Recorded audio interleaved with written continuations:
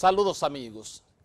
Continúa el culebrón haitiano en torno a la muerte del presidente Jovenel Moïse en un drama donde entran y salen actores fundamentales y donde a cada momento eh, pues hay otras revelaciones de personas involucradas, de personas que no hicieron nada en los últimos momentos cuando el presidente Jovenel eh, pidió auxilio tanto al jefe de policía como a su jefe de cuerpo élite de su seguridad y que simple y sencillamente nadie llegó ni nadie aún después de su asesinato trató de enfrentar a los maleantes que cegaron la vida del primer mandatario. Sale ahora de una eh, candidata que sería de que Diamante quien asumiría la presidencia de la República, Habrá que ver quién es ese nombre. Pero bueno, eh, Ariel Henry ya parece que será el nuevo primer ministro a partir de este martes y quien un veterano de 71 años de edad que ha eh, tenido papeles importantes en momentos asiagos que constantemente tiene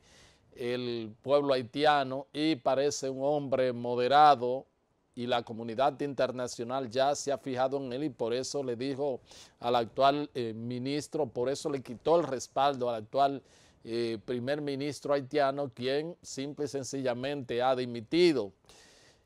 Y este hombre que eh, tenía confianza del presidente Jovenel Moïse puede inclusive darle un, una un cambio al perfil de esta investigación y revestirla incluso de, credibilidad, porque se supone que era el hombre de confianza del presidente Jovenel Moïse, quien iba a tratar a trabajar ya en la especie de transición del montaje de las elecciones, etcétera, etcétera, etcétera. Y parece, según pues todos los analistas internacionales, que es la persona que Haití necesita no solamente para buscar una eh, pues tranquilidad, una estabilidad en quizás en un mediano, un corto y mediano plazo, sino que también puede ser la persona que conjuntamente con la comunidad internacional puedan llegar a la raíz de eh, el crimen del presidente Jovenel Mois, de todas las personas que estuvieron involucradas, no solamente los autores materiales, sino los autores intelectuales, y que hay una buena comunicación con la investigación que lleva a cabo Colombia, la investigación que lleva a cabo los Estados Unidos, este primer ministro ya había sido señalado como parte del complot por la prensa colombiana, el propio director de policía hizo sospecha, eh, la primera dama dice que no cree en, eh, en, él y que por eso inclusive no se ha comunicado, de hecho dura una, más de una hora para llegar cuando el presidente lo llama que está en aprieto,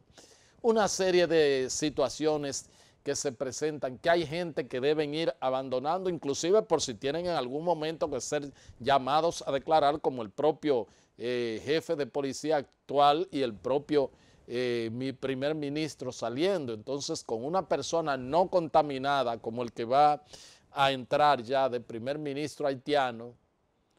podría ir entonces avisorándose algún final de este culebrón de este drama haitiano